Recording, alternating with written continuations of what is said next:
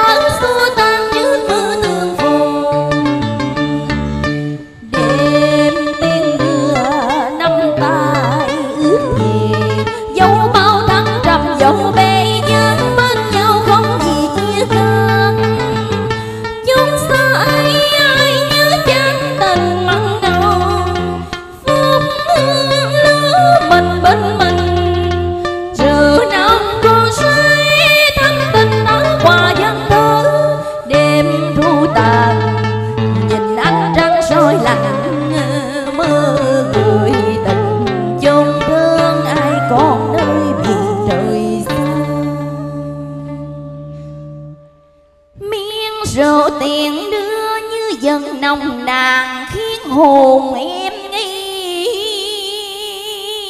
ngơ hương lửa yêu đương còn phản phất đâu đi ngào ngạt.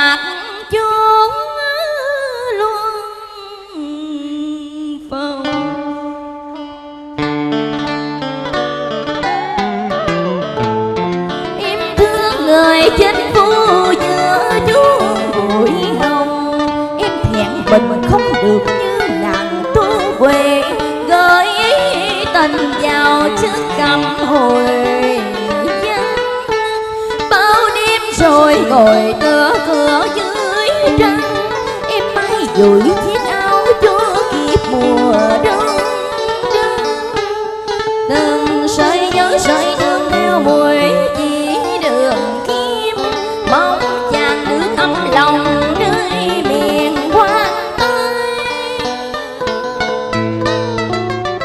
đêm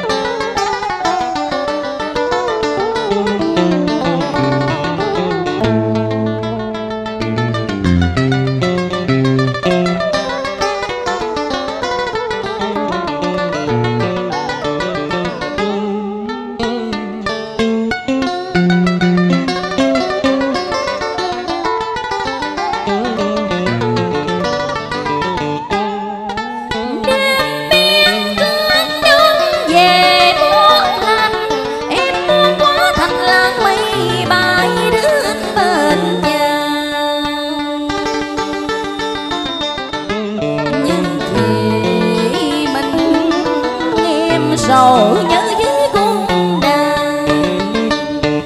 Nâng phim tơ thốt lên tiếng lòng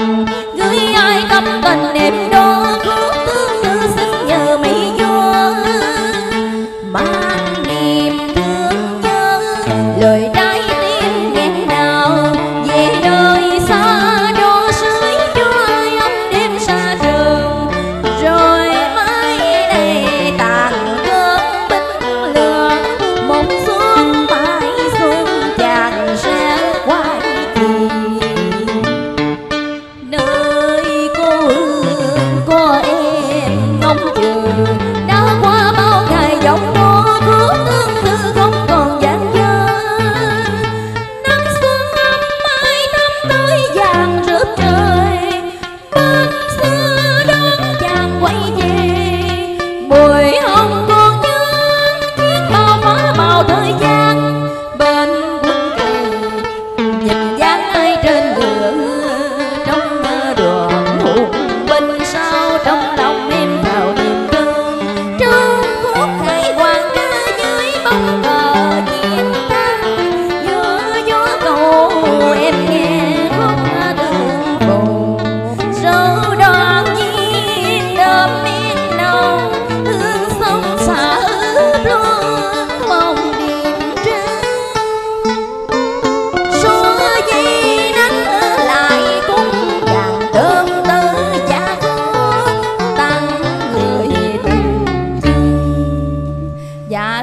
Lỗi với quý vị con đang bị à, đau cổ họng.